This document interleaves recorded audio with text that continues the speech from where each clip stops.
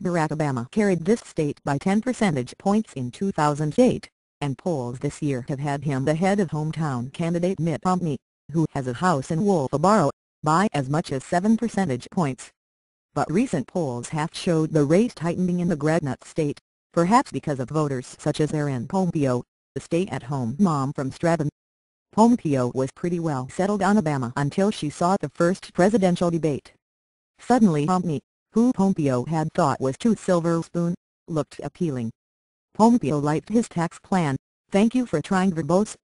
This recording will go away once the product has been purchased. And thought Romney seemed more knowledgeable. It made me more defeat on Obama, said Pompeo, 38.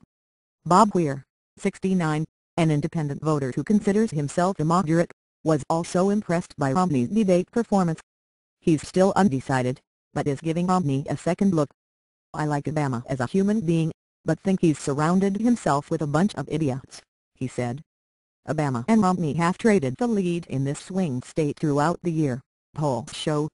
A Dartmouth College poll in April had Romney up thank you for trying verbose. This recording will go away once the product has been purchased. By two percentage points, and then a slew of polls such as the right-leaning Rasmussen reports had Obama up in June. The recent Rasmussen poll showed the race tied once more, though an average of polls by Real Clear Politics has Obama up by 4.5 percentage points. Doug Weissmont voted for Obama last time around, and still considers himself undecided for November's election. But he's leaning toward Romney, he says. It seems like Romney knows a little more about the economy, and we need more jobs, said Weissmont, 42, the stay-at-home dad. Thank you for trying verbose.